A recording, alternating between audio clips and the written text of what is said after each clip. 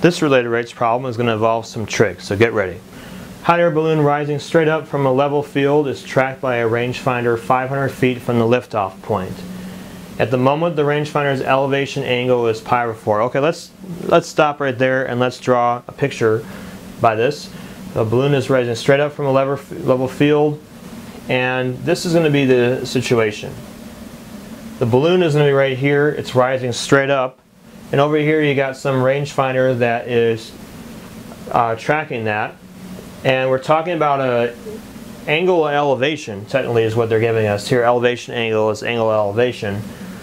And so it says it's tracked by a rangefinder 500 feet from the liftoff point. So liftoff point is right here. This person's 500 feet away. So put 500 over there. And then uh, at that point, we're going to have a pi over 4. But for right now, let's just go ahead and label it as uh, theta because we want to get some kind of a trig function that relates this information. How fast is the balloon rising at that moment? Okay, I'm going to use a y over here to indicate the, uh, the vertical distance. We want to come up with a relationship with this particular triangle. In particular, I have an angle and I have an opposite and I have an adjacent side. So, based on trig definitions, I can say that tangent theta is equal to y over 500. Or, when I multiply both sides, I can get y is equal to 500 tan theta. That's actually going to be the uh, formula that I'm actually going to use here on this particular problem.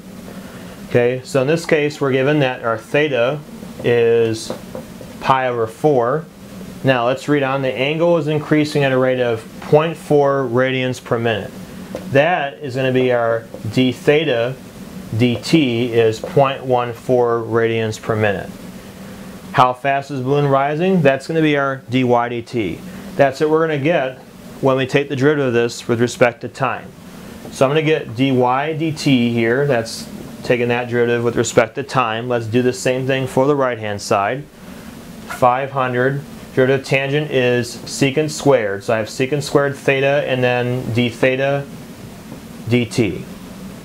Okay, now that I have this complete, let's start putting in information that's been provided in order to find dy dt.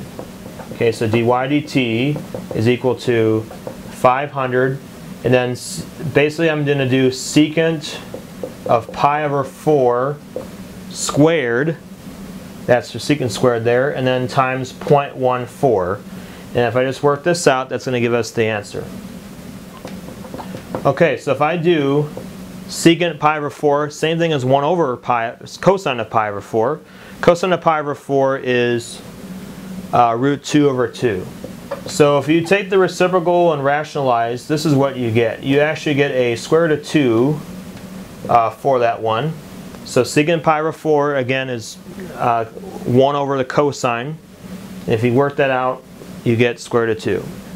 If you work the rest of this out, you'll get 500. This will be 2 because it'll get rid of the radical. That's 1,000 times 0.14, which means it'll move the decimal place three places over. That means that 140 is going to be your answer. Now 140 is going to be in terms of feet per minute it's feet because the 500 that was given here is in terms of feet.